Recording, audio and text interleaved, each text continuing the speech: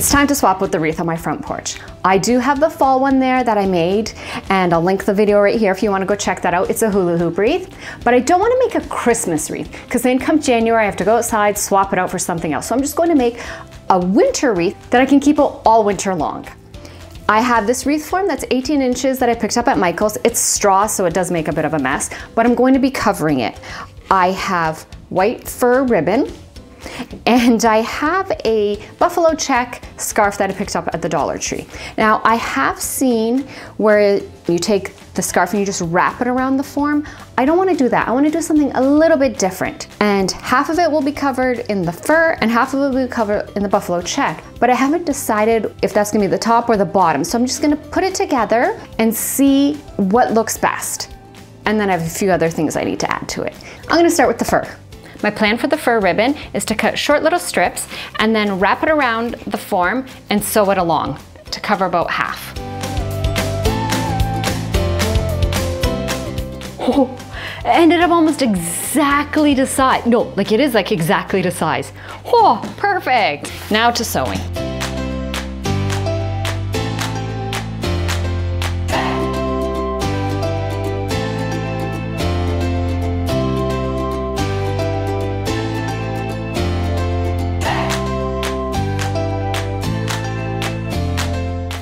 One half of the wreath is done. And now I'm just gonna do sort of the same thing with the scarf on the other half. The reason I sew it is not because I like sewing at all, is because our winters are pretty rough and I'm afraid that if I used hot glue or any other glue that I would just end up like driving by the house and seeing like bits of the wreath flying all over the place. So sewing just seems a little more secure. I don't know if I want these tassel bits, so I'm gonna leave them at first and then I'll decide.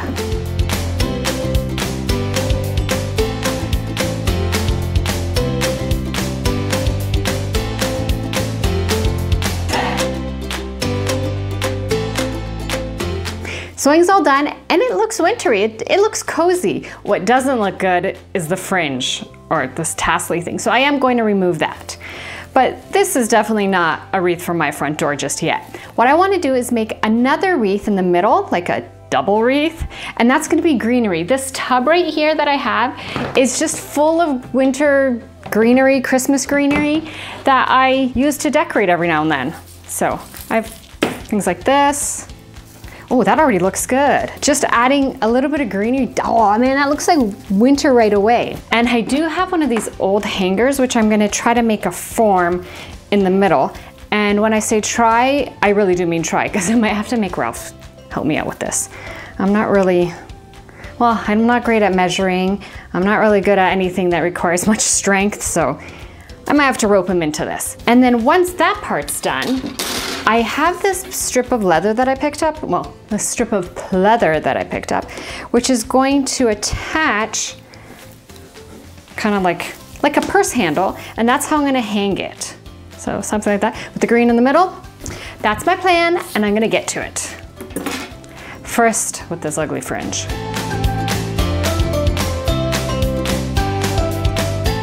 There, that's the outer ring. Now, time to make the inner ring.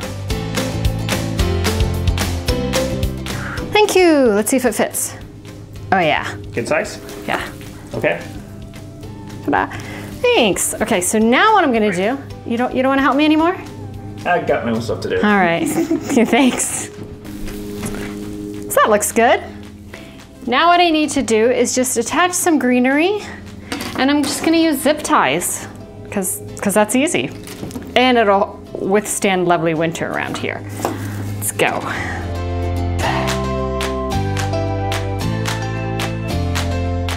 This is looking full enough to me, I, th I think.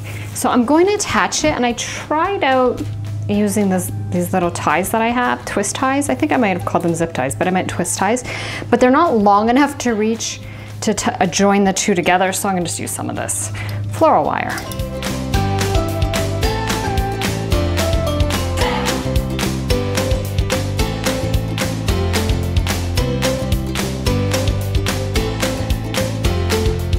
So we have the inside wreath, the outside wreath, and now I just have to figure out how I'm going to attach the strap. something like that. I just have to find, I don't think just stapling it in will hold it because it's just straw. So I have to come up with something sturdy-ish. My idea to attach the strap to the wreath is by using some of this floral wire. I'm gonna use it like thread. So I have two sizes of needles and I'm gonna try threading it through and then really tightly attaching it to the sides.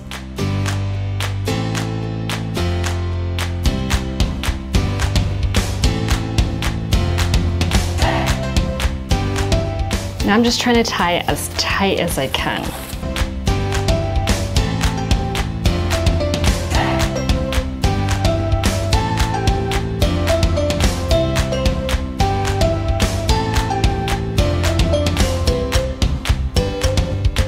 That's sturdy too. Let's see. It's so cute. It's not a Christmas wreath, but it's definitely a winter wreath. I think my favorite part is the strap. I love how that turned out. What about you? Leave me a comment and let me know.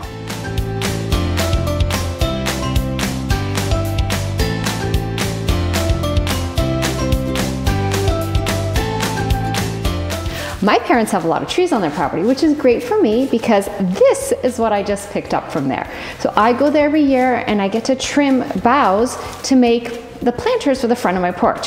What I want to do right now is just trim them down, like cut down these extra pieces here so I have like little spears to stick into the dirt so I can make my planters. So let's start trimming.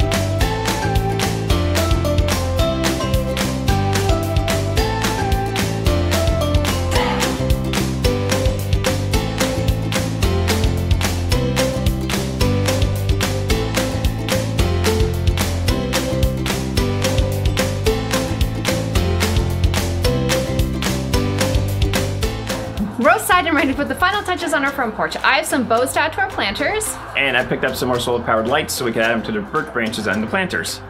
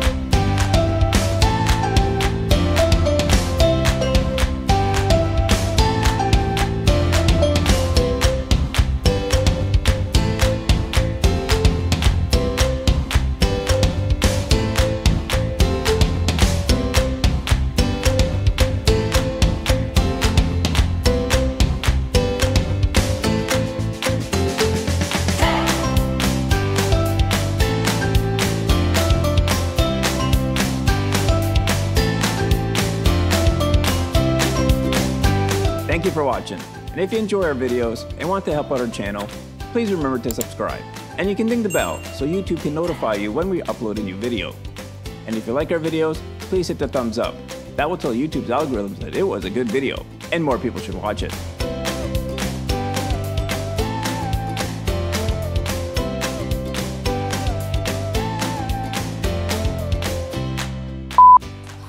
Colder. You ready? Yeah, Okay, and we're ready. we're ready. Okay. Oh, no, do it. Don't do it. Okay, that sounds like, I don't know. Okie dokie. No.